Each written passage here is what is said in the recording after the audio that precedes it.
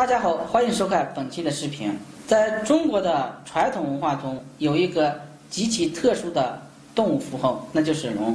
千百年来，国人对龙的热衷从来没有消散过。尽管在普遍认知中，这个世界上并没有龙这种生物，但许多人心中却并不认可这个答案。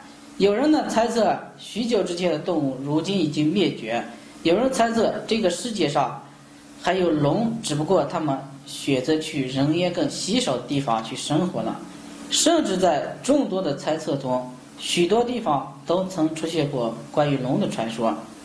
还有人信誓旦旦地表示，自家长辈在几几年的时候还曾亲眼见过龙。时间在二零一六年端午节后。云南镇雄县平上镇岩角村迎来了连绵不断的阴雨天，眼瞅着村边小河里的河水不断上涨，村里人都有些人心惶惶了。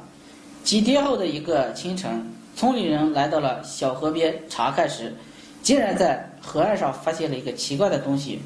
这个东西被牢牢地镶嵌在石块中，表面很光滑。却还能看到上边覆盖着一层菱形的黑色鳞片。有村民当即大喜，说是河底冲出了一条苍龙，这可是好事。村里呢，立刻找了几个人来，轮流看守这条突然出现的苍龙。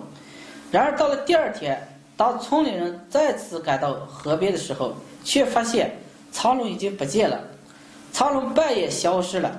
大家赶紧找来昨夜负责看守的两个人，才知道，原来昨夜又下起了雨，两人支撑不住，半夜回家了。等第二天过来，才发现苍龙不见了，留下的是一桶从河底冲出来的那块石头。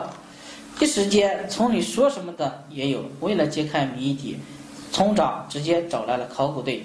让所有人没想到的是，考古队在现场。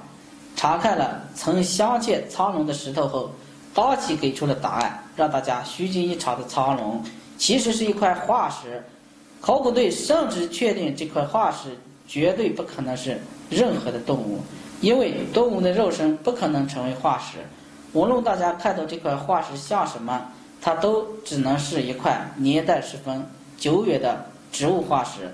在告知所有人情况后，考古队为了更好保护研究化石。直接把剩下的石头搬了回去。所幸，虽然上边苍龙现状的化石已经不见，但石头化石还有残缺的碎片。在化验后，考古队正式确定这块化石其实是二叠纪陵墓化石，形成时间距今有三亿年了。如此一来，所谓苍龙现世被彻底推翻。看了这个，以前很多关于亲眼见到龙的传闻都未必可信。好了，本期的视频到这就结束了。如果大家喜欢，记得评论、转发、点赞。